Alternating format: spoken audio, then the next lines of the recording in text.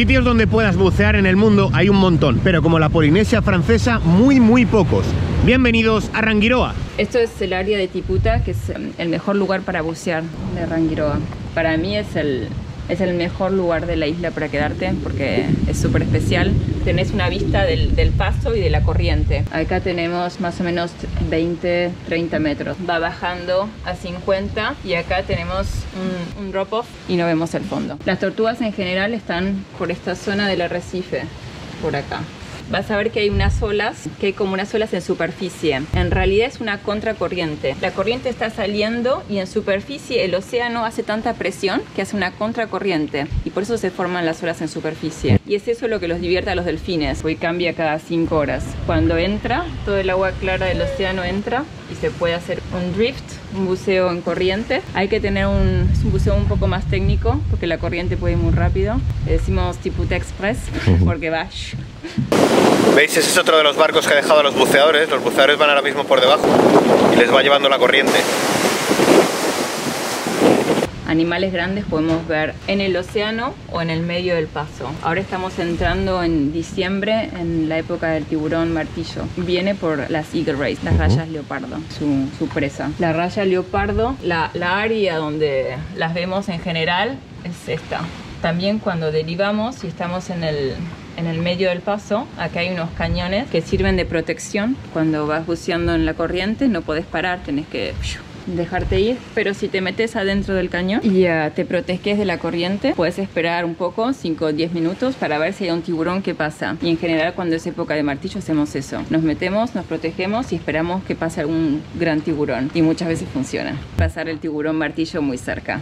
Porque no paro de ver delfines. Sí. Llegué y lo primero sí. que vi fueron delfines. Bueno, por eso Rangiroa es, por, por eso se hizo famosa, porque una familia de delfines se instaló ya hace unos años y hay, bueno, más o menos entre 20 y 30 delfines y en buceo están muy acostumbrados a venir uh, hacia los buceadores. Ah, se acercan, Es ¿no? una cosa única porque en general los delfines no se quedan. Este es un delfín que, no sé si te acordás de la serie Flipper, acá es el mismo, pero del Atlántico y es puede llegar hasta 4 metros. O sea que cuando lo ves, después cuando vos lo ves saltar, lo ves que es grande, pero cuando lo ves abajo del agua es, son tan claro, es que les vi surfeando, claro. con la cola. Surfeando ahí. Everybody's surfing. y entonces se divierten a saltar en contracorriente en las olas. Van y vuelven y hacen, hacen eso. Los delfines vienen, a burbuja les encanta y hay tres hembras por lo menos que están acostumbrados a venir cerca. Estas hembras se acercan y a veces, si están de humor, se quedan quietas enfrente de los buceadores y lo que buscan es que las acaricias. En general, bueno, hacemos un briefing bien uh, preciso antes de ir al agua porque es mucha emoción para la gente cuando un delfín se queda quieto y eh, enfrente tuyo y la gente en general tiende a agarrar el delfín. Tratamos de avisarles que no es un, no es un acuario, que no queremos que el delfín se sienta preso. Tratamos de que si es, los buceadores lo tocan, sea sin los guantes, pero es algo muy, muy especial. Claro. Y es solo acá en Rangiroa, yo no sé si en otras partes del mundo puedes ver esto. Nosotros estamos acá, del lado de la laguna. Esta es una, un área um, protegida que llamamos el acuario. Hay mucho, muchos peces, morenas, uh, tiburones chiquitos, punta negra, eh, rayas.